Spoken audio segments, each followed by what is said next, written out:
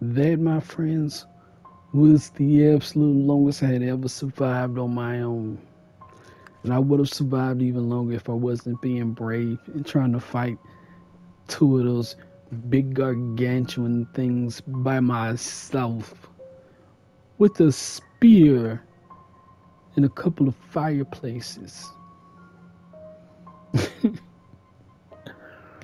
Yo. I think that's really cool.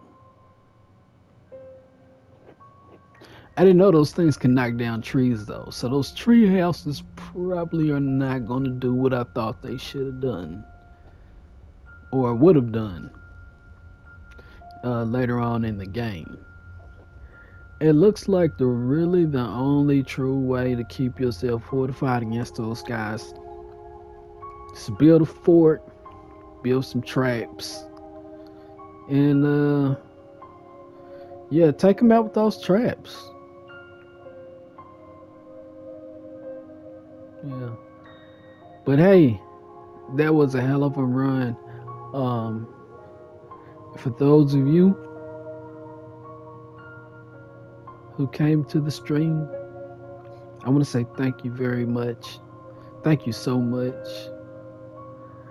Um, yeah.